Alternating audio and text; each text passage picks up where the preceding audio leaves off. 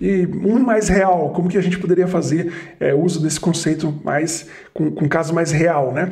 Por exemplo, com uma factor de pessoas. Você pode ter ali pessoa física e pessoa jurídica, tá?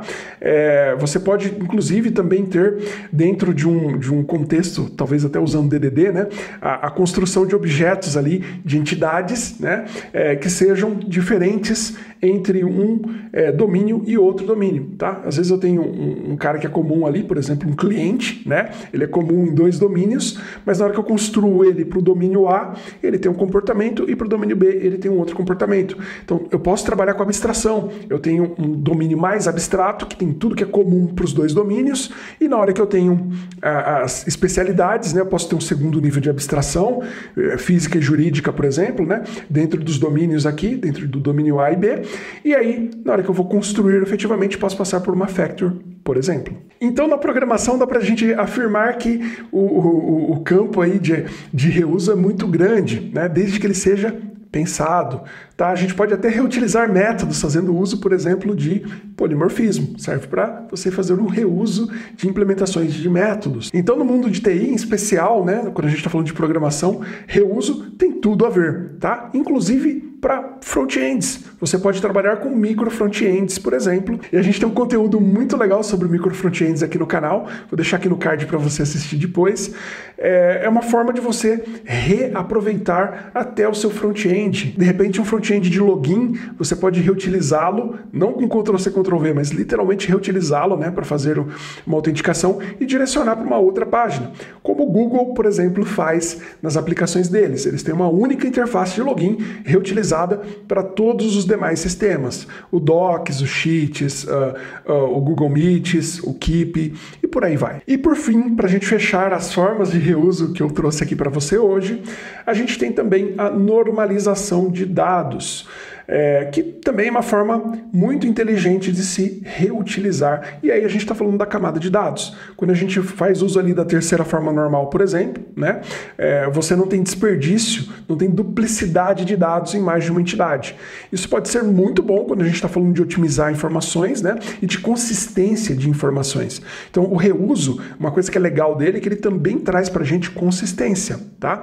padronização, e a gente também vai falar um pouquinho mais sobre isso. Tá? Mas percebe que é, até quando a gente está falando de dados, a gente tem reuso no mundo de TI, não é verdade? Bacana. Então agora a gente vai falar sobre as seis, seis passos aí para que você consiga aplicar esse, esse conceito de reuso. E aí, independente de ser com documentação, com codificação, tá? É, ou então até mesmo com infraestrutura, são seis dicas para que você consiga extrair o máximo desse conceito de reuso dentro do mundo de TI. Então, o primeiro step para que você consiga extrair o máximo desse conceito é você planejar antes de sair fazendo, né? desesperadamente por exemplo, ao invés de você codificar logo de cara uh, o seu projeto, né, faz um desenho, um rabisco rapidinho ali para entender, para ter uma visão é, mais, mais periférica ali, mais abrangente, né, do que você vai implementar antes de você fazer, tá? Isso vai te dar a possibilidade de projetar melhor a sua solução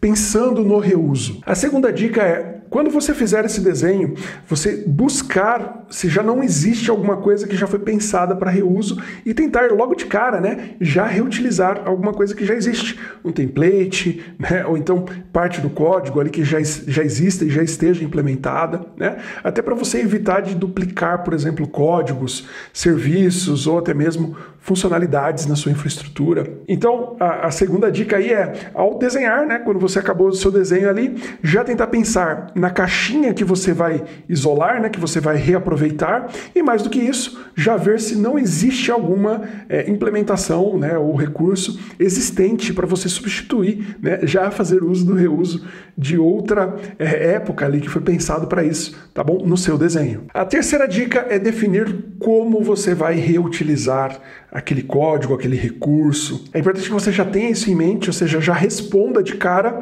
é, esse, essa pergunta, né? Como que eu vou reutilizar o que eu estou fazendo? Né? Como que vai funcionar isso? Eu vou reutilizar isso através de uma função, através de uma interface, através de um protocolo. Então, esse passo de idealizar como que o reuso vai acontecer também é importante para que o reuso seja efetivo, seja eficiente. Se você pular essa etapa, certamente é, o, o teu reuso vai vai cair e muito, né? Você não vai conseguir reutilizar tão bem aquela função que você está projetando. O quarto ponto é que você descreva de alguma maneira, vamos supor que você está implementando o, seu código, né? vai começar a implementação do teu código, já coloca um comentário em cima é, explicando por que, que você está reutilizando, né? por que, que você está construindo aquela função é, de forma a ser reutilizável. Tá? Isso também ajuda a, as futuras pessoas ali que forem é, fazer uso desse método, por exemplo, a entenderem, poxa, foi pensado para reuso e foi pensado para ser reutilizado desta forma. Tá? Então, uma descrição, uma breve descrição bem sintetizada ajuda demais nesse sentido. O próximo ponto é fazer a sua implementação de uma forma totalmente desacoplada. Então você constrói o seu componente que vai ser reutilizado, né, totalmente isolado, é, assim até, até mesmo com interfaces para acessá-lo, né, o mais desacoplado possível de todo o restante do seu código. É, testes, né, tudo de forma muito individualizada em cima só daquele componente, tá? Isso vai, vai possibilitar que você consiga reutilizá-lo de uma maneira muito mais efetiva, beleza? Porque se tiver começar a ter dependências, né, essas dependências elas vão fazer com que o seu componente tenha um reuso muito menor. E aí, por fim, para você garantir que o seu reuso foi realmente efetivo, né, aí sim você faz uso daquela funcionalidade através da sua programação, através do sistema que você está é, utilizando, do template, não importa, tá? É, é, importante que você faça uso do teu do, do, do, do componente que você está querendo reutilizar, né? Logo de cara, e isso vai garantir que você testou né, aquela, aquela ferramenta no campo de batalha, no teu dia a dia mesmo, com algo que era necessário para você. Dessa forma, você garante que o propósito do reuso é, realmente foi atingido, né? Que você idealizou, projetou, aconteceu na prática. E se tiver algum problema, né, de novo, toma cuidado para não criar uma, um acoplamento entre a implementação é, efetiva né, do que você está fazendo com o componente a ser reutilizado. E novamente isso pode ser até com um template de documento. Tá? Pode ser que você faça uma alteração é, que seja estrutural, né, que deveria acontecer para todo mundo é, no seu diagrama específico, né, e não alterou lá no template. Aí o template é, ficou desatualizado. Tá? Então precisa ter esse cuidado aí de, é, de manter né, as coisas bem desacopladas, mas manter o coração, né, que é o que vai ser reutilizado, sempre com a última versão, sempre mais atualizado possível.